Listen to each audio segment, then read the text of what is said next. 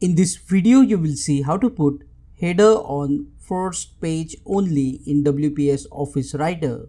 First you need to activate the header area and to activate the header area go to the insert tab here and you will see the option of header and footer. Click on this option and the header area will be activated.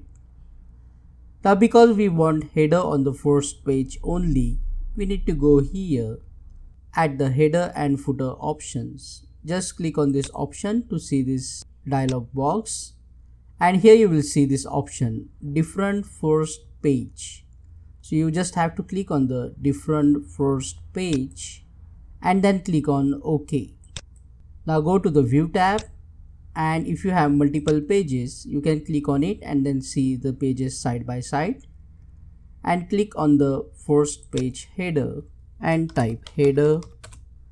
And as you can see the header only appears on the first page but doesn't appear on the next page.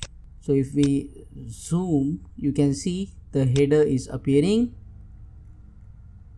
and the header doesn't appear on the second page. Once done, just double click inside the document. Click on that like button, comment below and let me know if this video solved your problem. And don't forget to check out these useful videos related to WPS Office Writer.